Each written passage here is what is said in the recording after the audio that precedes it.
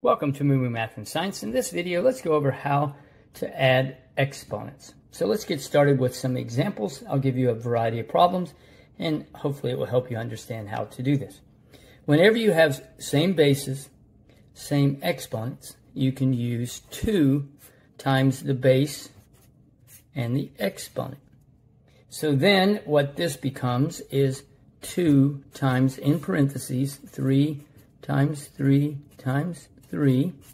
So let's work the parentheses. So it's going to be 2 times parentheses. This 3 times 3 is 9. 9 times 3 is 27. And then 27 times 2 is 54. So that's the first one. Let's look at the second one. Same thing. Same basis. Same exponents. We'll go 2 times 4 squared. We're going to go 2 in parentheses, 4 times 4. 4 times 4 is 16. Then we're going to go 2 times 16, and that equals 32. Okay, this next one you have different bases, but the exponents are the same.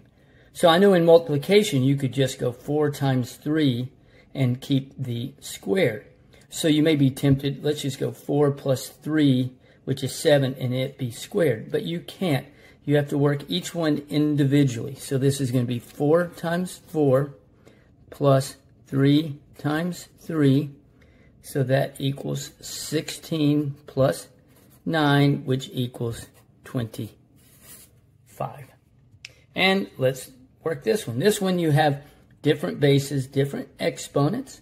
So you have to work them individually. So it'll be 4 times 4 times 4 plus 3 times 3. So that is 16 times 4, which is 64, plus 3 times 3 is 9.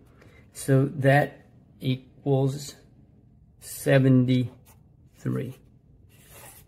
I hope that helped in adding exponents. Thanks for watching, and remember, kindness multiplies kindness. Be kind to someone today.